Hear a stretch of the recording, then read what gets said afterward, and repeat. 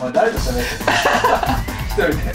目指したのは数学の定理集。自分で見直してもまあうまくいかなかったんだけど。おそうだったんですね。編集部と一緒に粘土で作ったんだよ。大体今毎年2万ずつ出て2万5千から。社長室と駆け込んできたね。ライブラリーのへえ人こんなこと言っちゃいけないじゃん。すげえ使えな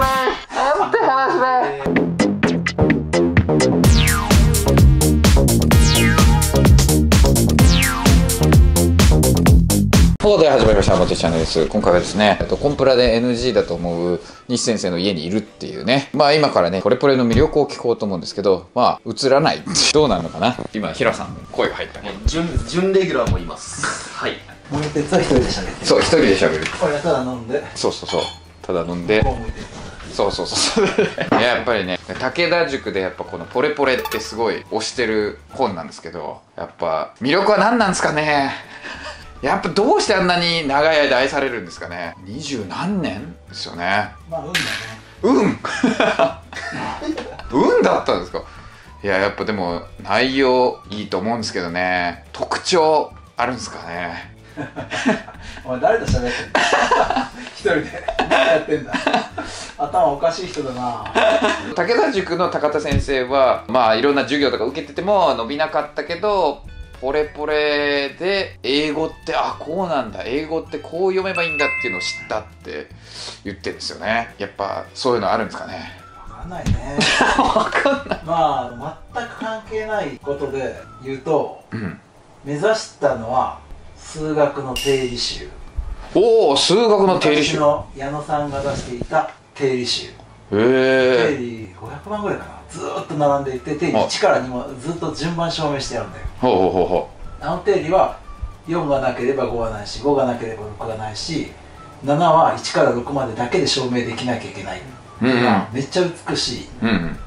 もう一つは例えばモーツァルトの譜面ケーヘル516番とかだとあ一番好きなんだけど第一楽章が実は第四楽章を予兆していて第一楽章があるから第四楽章がありは第一楽章なしで第四楽章を聞いても感動しない。本当はそういうことをしたかった。これがあるからこっちがありそれがあるからこっちがありそして順番じゃないんだけど順番だみたいな。ほ数学の定理集よりはモーツァルトの単調の譜面。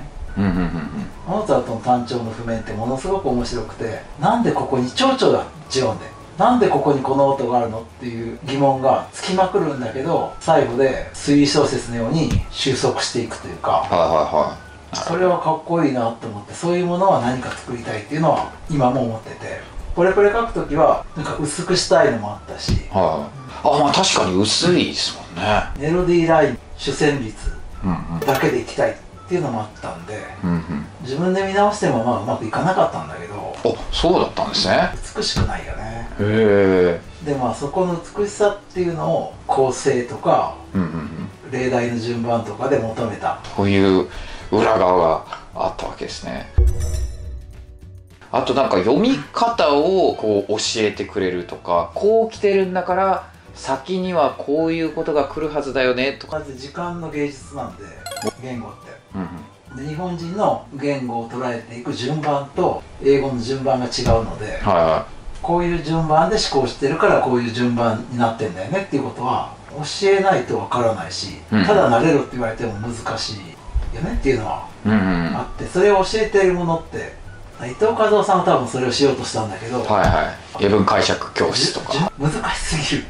ああ英文解釈教室が難しいっていうよりはうんうん。たどるためのルールを分かるのが多分難しいのかなって思って、うんうんうんそれはもっとシンプルにしたかった。なるほどなるほど。それがポレポレだったわけですねそうですよねゆっくりやっていくっていうので高田先生とかはやっぱりああこういう風に読んでいけばよかったんだっていうそのプロセス、まあ、あとはそうですね解説がやっぱりでもさ森田さ、はい独り言長いねいいや一人語てか僕の頭の中のねセリフの方がめちゃめちゃ長い独り言長い人だなと思って僕はどこにいるのかわかんないんだけど遠くから見てんだけどよく仮想の西教授と延々と会話できるよね。大した妄想力だね。大した妄想力ですね。やっぱ何万部ぐらいっていうんですかもうねだって。43万。ああすかな。毎年増刷されてますもんねだってね。うん、大体今毎年2万ずつ出てる。2万5千かへえ2万5千。そりゃすごい。な多分武田塾のおかげでは3000から5000くらいは増えてる気がする。いああなるほど。ルートに乗ってますからね。ありがたいです。やっぱり。あれは。まあ名著と呼ばれるものですもんね。まあだって代々木ライブラリーがねその夜ゼミにいない先生でも出したいっていうぐらいですからね。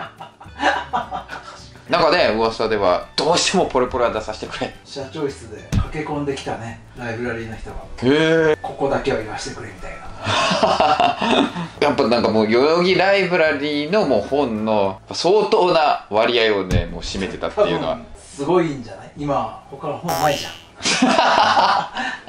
そんな中でもやっぱりすごい売れ筋だった。普通ないですもんね。夜ゼミから出たらもう代々木ライブラリーのものじゃなくなるっていうか他で出すとかもう絶版にするとかっていうのが普通ですからね。頭身が太っ腹だったんじゃない、ああなるほどそれは OK と。うん、向こうがそんな風に言ってますって言ったら「いいよ」って「次の出してもらえばいいよ」みたいな話になって「いやいや次俺あんないい本書けませんよ」でもね英文法の書くね。うん、いい本だと思うんだけど売れないんだよね。えー、そうなんですね。まだだって7回8回しか切り直してない。いやそれでも8釣りいってるってすごいですねやっぱわあれもぜひいい本なんでね。え一番お気に入りの本とかあるんですか？どの本それがはみんなうんちだろう。自分の本じゃない。自分じゃないっていうやねもうみんなうんちですよ。もうゴミ太郎最高。西教授長の中で一番。そんなん次出そうに決まってんじゃおん。お当たり前でしょ。じゃあもう次が。だってそう思わないと人なんて物作れないじゃん。うんうんうんうん。ダンスで英単語。うんあれね面白かったんだけどね。いやあれ面白かった俺ですげえ面白いと思ってるんだけど一番あれなかった あそうなんですね。あれはね台が悪かったかな。わかんないけどあれ割と買った人には評判いいんだけど。そうね語源とねイメージでね。で結構それに音を入れてるから、あの音イメージってやった人いないんでリズムはある、単語リズムあるああそうですねありますね。五根とかでまとめた音イメージっていうのははなかったしあれは面白いと思ったんだけどこけたね。い やっぱこけるのとかもあるんですね、うん。結構僕持ってるんで西先生の本。東大のあの CD のやつとか。イングリッシュツアーももうオークションで。ああイングリッシュツアー頑張ったね。でアリスのやつとかね。あれ今やりたいことに近いよね。あそうなのね。うん、だってやっぱりほらどっかで聞いたことがある話を英語で読んでみようっていうのは面白いじゃん。はいそうですね。やっぱあれはヨゼミのあの TV ネットの中でもやっぱり西先生しかできないね。スタジオで遊びまくったから だって人形作らせていいあれ俺のだけね4倍ぐらい予算使ってて。そうなんですね。へ4倍で済んでないと思う。舞台装置みたいに作ったり、えはいは今ほらもっと技術が進歩してるけど、いはい。はあの時の技術であそこまでやれてるのはすごいことでそれは俺の授業がすごいんじゃなくてとにかくスタッフがみんな楽しんでくれていへえ。じゃあ俺アリスの人形を作ってきますよみたいな感じで、あれはスタッフ鈴木オーディオっていうんだけど、スタッフがはちょっと別格扱いしてくれてこの人でやりたいって言ったらスタッフ募集も僕のこう割り振る時にいやあれやりたいに決まってんじゃんみたいな。でヨゼミはそこの予算は多分気づいてなかった。気づいてなかったね。めちゃめちゃ予算オーバーなの。へえだから毎回人形が出るんだ俺 アリスとかいるんだよ。